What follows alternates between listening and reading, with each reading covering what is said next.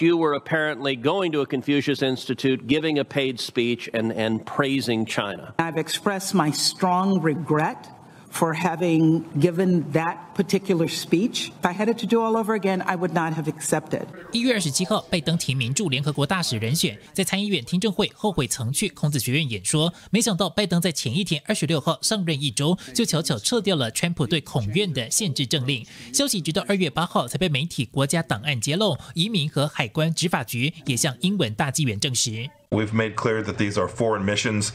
I think that everyone's coming to see the risk associated with them and the, the recruitment of spies and uh, collaborators inside of those institutions. I think these institutions can see that, and I'm hopeful we will get them all closed out before the end of this year. 被拜登撤掉的川普政令是强制美国中小学和高教机构披露与中共孔子学院的所有合约和交易，没有如实报告的学校将失去交流访问项目与学生相关认证。 美国国会二零一九年二月发布的两党报告中，敦促美国大学断开与孔子学院的联系。川普政府国务院二零二零年八月公告，将孔院注记为推进北京的全球宣传和恶性影响的实体，要求注册为外国使团。同年九月，蓬佩奥表示，希望在二零二零年底前关闭美国境内所有学院。十月写信给全美国大学中小学管理层。We do share concerns about the Confucius Institutes. Uh, we've been watching that development for a while.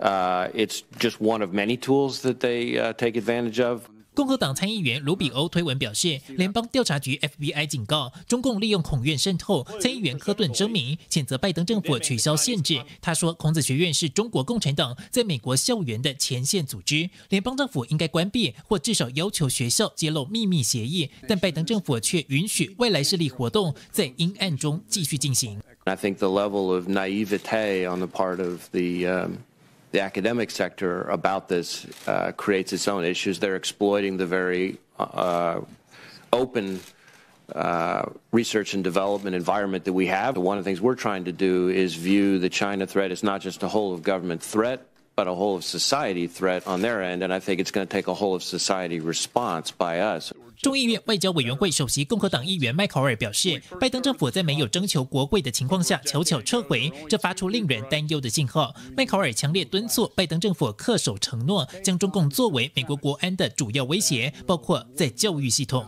新唐人亚太电视陈伟文、张东旭整理报道。